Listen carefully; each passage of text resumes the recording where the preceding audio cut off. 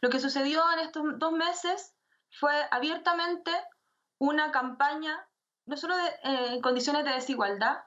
sino donde la campaña del rechazo se llamó a hablar no del texto, sino justamente de lo que no tenía el texto, es decir, insistir en que las personas iban a quedarse sin casa, insistir en que en Chile iban a haber distintas justicias, insistir en que iban a haber ciudadanos de primera y de segunda clase. Y todo esto sostenido sobre un discurso abiertamente racista, abiertamente contrario a los pueblos originarios e incluso abiertamente contrario a las mujeres y a los avances del feminismo.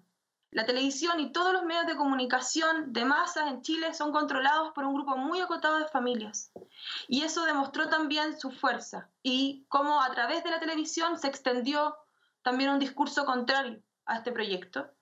Y, y para poder llegar y poder informar sobre lo que el contenido efectivo, tuvimos que desplegarnos, pero no fue suficiente. Y, por eso es que sabemos que el problema no es el texto, y lo que se votó no fue el texto, sino eh, fueron los términos de una, de una campaña muy desigual.